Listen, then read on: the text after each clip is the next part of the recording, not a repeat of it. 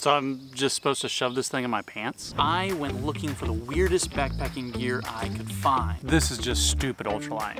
And what I found is backpackers are obsessed with trekking poles, among other things. Is that a freeze-dried meal in your pocket or are you just happy to see me? So let's check it out. It's a freeze-dried meal. I don't know what it is about trekking poles, but I feel like we need to stop trying to make them into everything else. I mean, we got tents, chairs, trailers, and now flashlights. Why can't trekking poles just be trekking poles? Sometimes it just feels like multi-use has gone too far, but I guess if you're going to combine trekking poles with something else, a flashlight makes the most sense, except the manufacturer specifically warned me these are not to be used for walking at night, which makes me think, well then, what's the purpose? But that's probably just lawyers talking. So if you want to hike at night, I guess that's up to you, but you do so at your own risk. As for me, I don't know how much night hiking I'm going to be doing, but I did think that these would be great as lights inside of a trekking pole tent. Okay, I admit, in this situation, these trekking pole lights are pretty nice. I mean, look at how much light I've got in here. Like it's nice and kind of cozy feeling, you know? I mean, it's like a nice little ambiance going on. They're pretty nice, especially in winter when you have long periods of time in the dark. These would make for some really great ambient light. Now, flashlights are one thing, but what about a trekking pole that is also a water filter? This is Pure Trek, a trekking pole with a pump style water filter built into the shaft. Now, this thing is weird, but I do see the benefit in it, especially for older hikers who are finding it harder and harder to bend over, kneel, or squat to filter water. But even if you have no problem with any of those activities, I still see some pros, only because I don't know what it is, but once I have my pack on and I'm in hiking mode, I hate taking it off. And with Pure Trek, it's completely possible to stop, filter water without ever taking off your pack. And I could find some real benefits to that. Now, the only con I see is this thing is a little heavier than your standard trekking pole at almost 21 ounces. I've got sleeping bags that weigh less than that. In comparison, a regular trekking pole weighs something like half that. Now, I don't know what the long-term effects of hiking with one heavy and one lighter trekking pole, but other than that, if you don't like taking off your pack or bending over to filter water, I could find this a really useful piece of gear. What's not as useful is this strange little sleeping pad. This is the Klymit Inertia X-Frame, and it's part of the long history of Klymit's inadequate R values.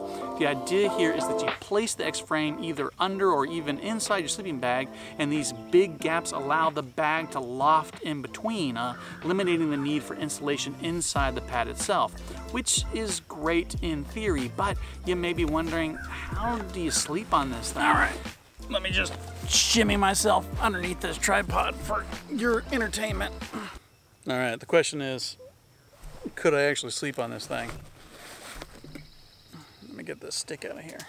Well, it's supposedly mapped to your body in such a way that it supports you exactly where you need it and nowhere that you don't, allowing you to basically hover off the ground. Now, it's been a while since I've actually slept on this thing. I've actually had this for a long time, and I'm not even sure they make it anymore, although you can still find it on Amazon. But my recollection is you have to sleep almost perfectly on your back. But I don't like sleeping on my back. And it doesn't even save you all that much weight. The X-Frame comes in at over 10 ounces as opposed to the Thermarest UberLite, the lightest sleeping pad on the market, which is only 8 ounces, and it's a full-size sleeping pad without any holes in it. Well, except for maybe the ones you put in it yourself. But the weirdest piece of gear that I've seen in a really long time is the Gossamer Gear Crotch Pot. This is ultralight gone wild. The idea here is that you clip these little carabiners to your belt loops, you place an uncooked meal inside the pouch, and then you put the whole thing inside your pants and allow the heat from your body to cook the meal as you hike. Okay, so I haven't gone very far with the crotch cooker just yet, but I can already tell that it's gonna ride okay down there. I mean, I am used to having large things. I'm gonna have to try really hard not to make just a whole bunch of perverted jokes about this thing. It seems to be doing okay, it's riding okay.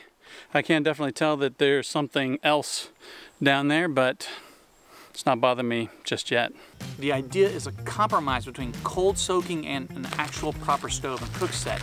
If you don't know, there are some people who choose to rehydrate their meals by soaking them in cold water, sacrificing the convenience and enjoyment of a warm meal for a lighter weight.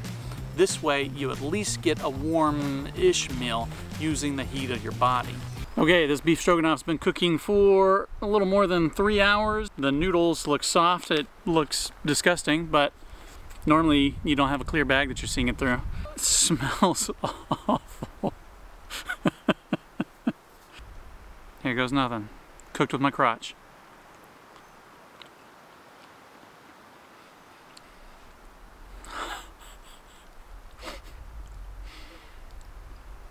I don't even know what to say.